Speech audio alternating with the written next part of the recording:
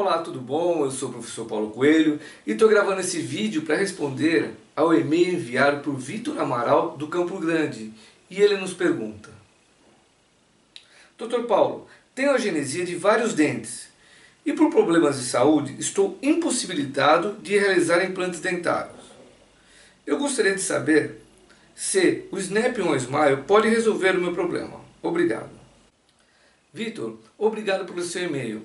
O Snap on Smile é uma prótese removível muito indicado para quem tem um problema semelhante ao seu. Claro que necessita de uma avaliação clínica aprofundada para o estudo do seu caso. Mas eu queria aproveitar para te apresentar como funciona o Snap on Smile.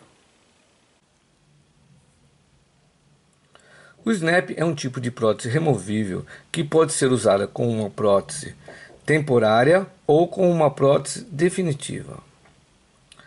Observe que nesse modelo há ausência de alguns dentes no lado direito e ausência de alguns dentes do lado esquerdo.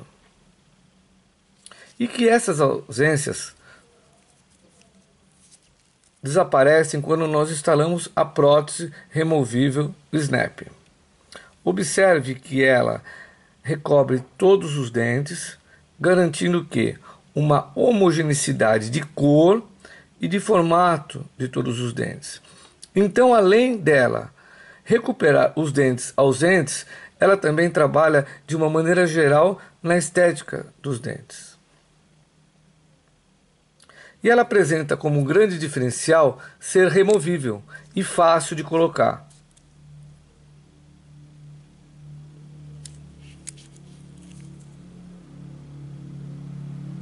Porém, como todas as próteses, ela tem a sua indicação e a sua contraindicação, e isso deve ser avaliado clinicamente.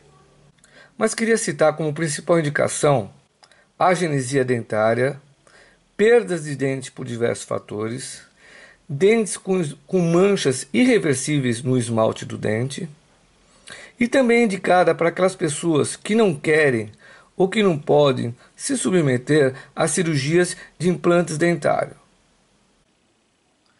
Vitor, eu espero ter lhe ajudado e recomendo que você procure na sua cidade ou na sua região um dentista credenciado do SNAP para que ele possa fazer um estudo aprofundado do seu caso.